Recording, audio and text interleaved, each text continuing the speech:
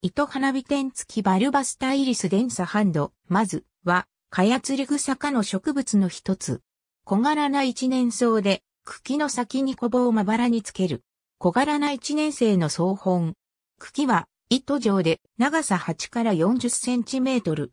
葉は、根質状に出て、細くて、市状をしており、その幅は、約0.3ミリメートルしかない。またその長さは、茎よりも短い。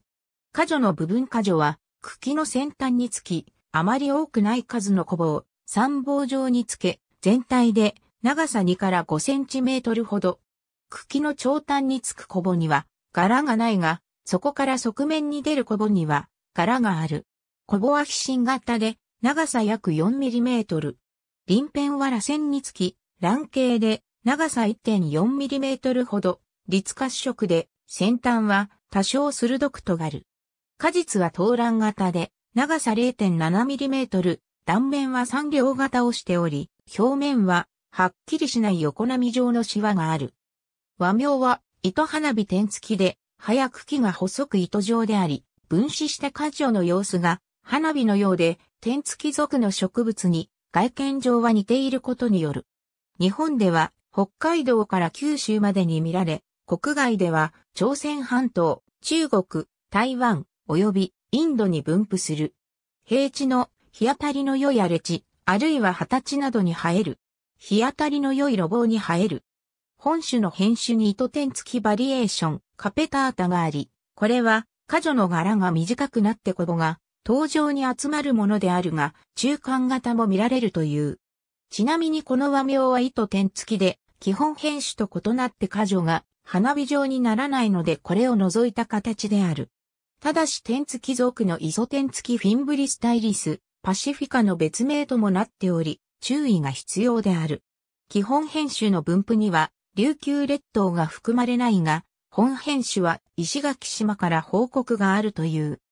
本種の属する旗ヶ谷族は世界に約100種ほどが知られるが、日本ではもう一種、以下の種が知られるのみである。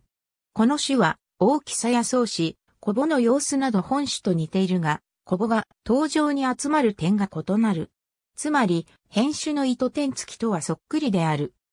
その場合の区別点は、コボの鱗片が、この種では明るいサビ色で、対して、本種では、立褐色とやや色濃いこと、鱗片の先端が、この種では、棒状に突き出し、それに外向きに反り返るのに対し、本種では鋭い形に尖っているだけで、棒状にならない点が挙げられる。なお、このために、イトテンツキには別名としてクロハタガヤというのもある。なお、外見的には、テンツキ属 Fimbristylis の小型のもの、ヒメヒラ点付き F オータムナーリスやオーアゼ点付き F、バイサンベラタなどが紛らわしいが、テンツキ属のものは、より湿った環境に出ることが多く、また花茎もそこまで細くなく、根質用がもう少し目立つ例が多い。しかし決定的な区別は、コボの内部にあり、ヤセカの先端、中東の基部に、昇級状態があるかどうか、なければ、天付き属というものなので、具体的には、めしべの付け根に小さなポッチがあるかどうか探さねばならず、結構難しい。身近な雑草ではあるのだが、まず目につかない。ほふく枝も出さないのでさほど反もすることもなく、無視されっぱなしになることが多い。